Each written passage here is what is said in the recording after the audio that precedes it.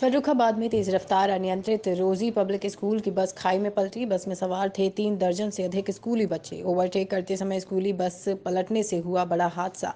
चार बच्चों के आए गंभीर चोटें। सूचना पर एएसपी मौके पर पहुँचे। सभी घायल बच्चों को सीएचसी राजेपुर भेजा। ड्राइवर को पुलिस ने हिरासत में लिया। ड्राइवर की तेज रफ्तारी की वजह से कई जगह हादसा होने से बचा। थाना अमृतसर क्षेत्र का मामला। क्या नाम है आपका? आयुष यादव। गाँव आपका? क्या? घर घर कहाँ है? कलान। कलान। ये कैसे हादसा हो गया आज? वो क्या नाम शायद बाइक थी आगे तभी उसी को बचाने के चक्कर में हो गया। हो गया।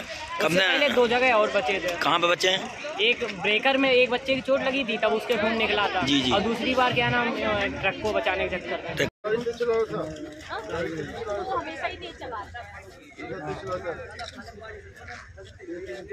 लड़ाई भी हो चुकी है एक बार तो ढाई में ढाई में लड़ाई भी हुई है बच्चों से पूछ लीजिए थाने में। हाँ। में।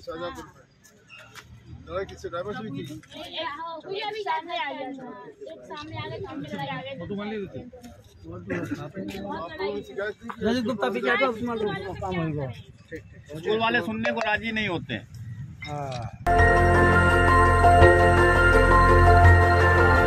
देखते रहिए डीवी भारती समाचार नज़र हर खबर पर।